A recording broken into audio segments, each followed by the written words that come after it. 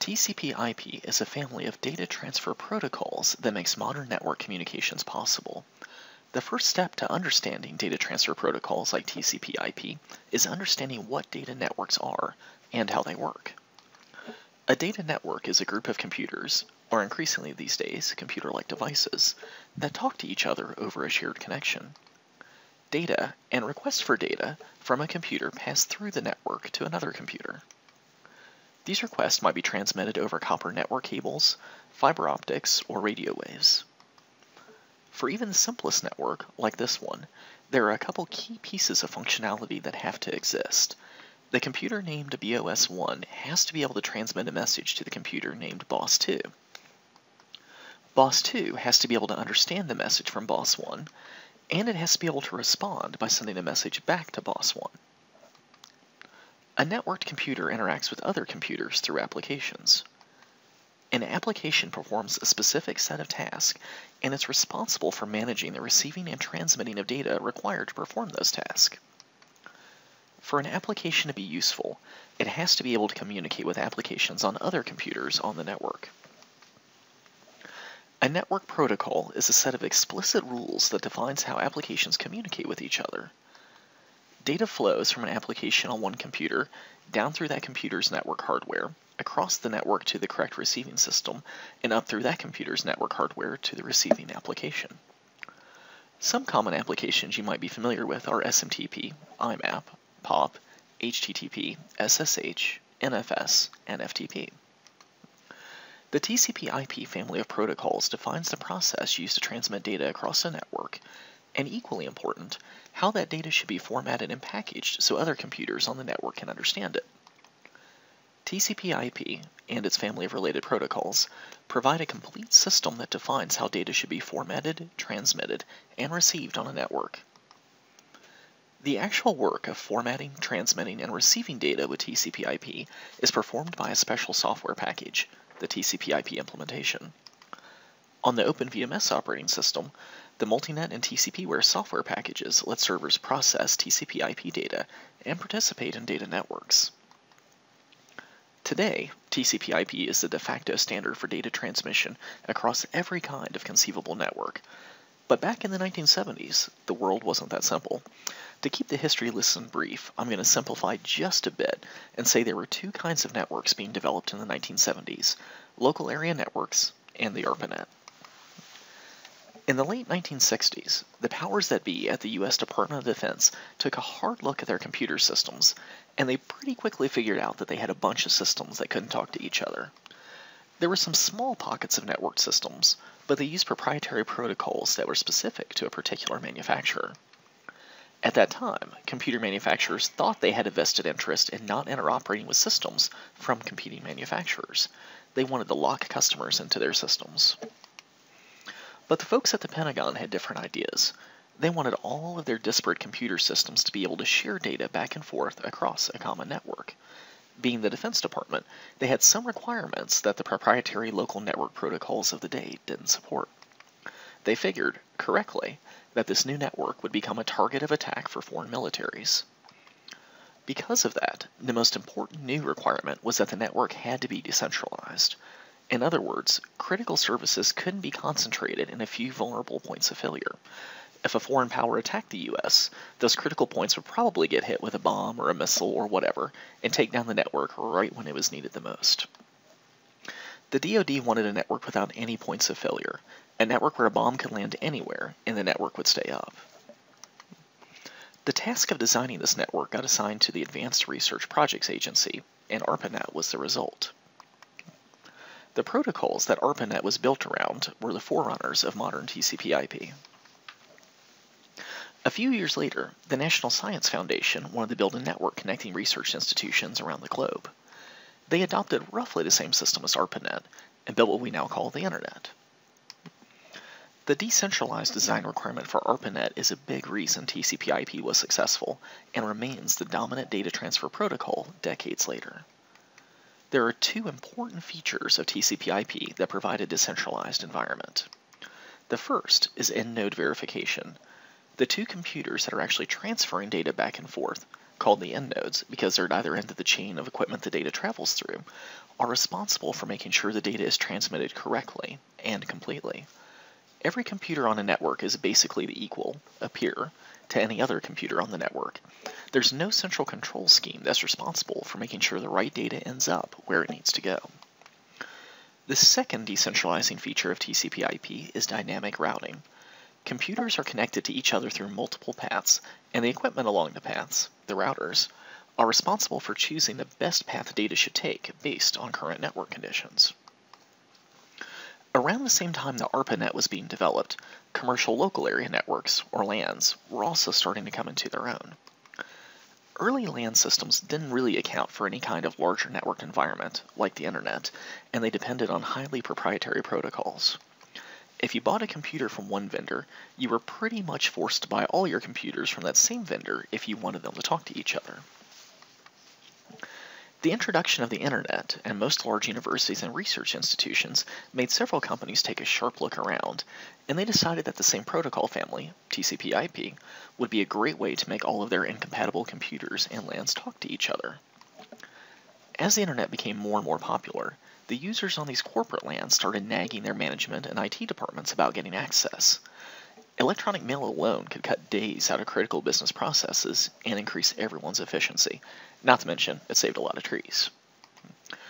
Initially, some vendors provided specialized gateways that converted proprietary LAN protocols back and forth into TCP/IP. As the internet continued to become more important, and corporations started to lose patience with proprietary network protocols, any LAN software that was going to survive commercially switched over to TCP/IP. Alright, brief history lesson over. There are five key problems any kind of network has to solve. Addressing, routing, name resolution, flow control, and support for external applications. These five issues really drove the design decisions made for TCP/IP. Any device connected to a TCP/IP network has a physical address, a unique number that identifies it. That unique number is burned into the device at the factory, and it's guaranteed to be unique across all devices that ever have been or ever will be connected to the internet. The technical name for that unique number is a machine access code, or MAC address. On a LAN, the low-level TCP/IP protocols use these physical addresses to move data across the physical network and make sure it's received by the right device. The physical MAC addresses are used kind of the same way the phone companies use phone numbers. When I want to talk with my mother, I dial her phone number, the phone company knows which phone corresponds to my mother's unique phone number and routes my call to that device. As a user, you don't see it, but there's about 100 years of research and billions of dollars of equipment required to make that happen. On a small and simple network, a computer can just dump data directly onto the physical network. Every computer on the network examines every bit of data that goes across the network and decides which transmissions are meant for it based on its physical address. But what about larger networks?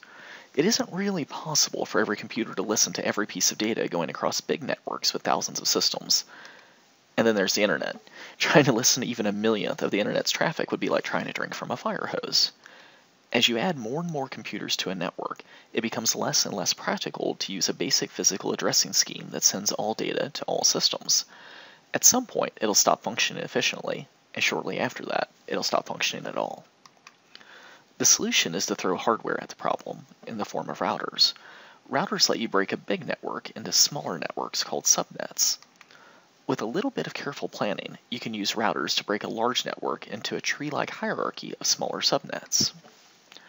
The hierarchical design lets data travel efficiently across the tree to its destination without forcing every computer on the network to examine it. TCP/IP lets you break giant networks into smaller, more manageable networks through logical addressing. A logical address, known as an IP address, is configured in a computer's TCP/IP software package. Generally, an IP address is a number composed of three network IDs, the network ID number, the subnet ID number, and the host ID number. If you do a little bit of planning before randomly assigning IP addresses to computers on your network, you can match them up with the internal organization of your network. Routers are special devices that, as their name implies, route data back and forth across networks. A router understands the logical address information contained in a piece of data transmitted over a network and uses that to direct the data across the network to its destination. If it's set up correctly, a router lets you separate a subnet from the larger network.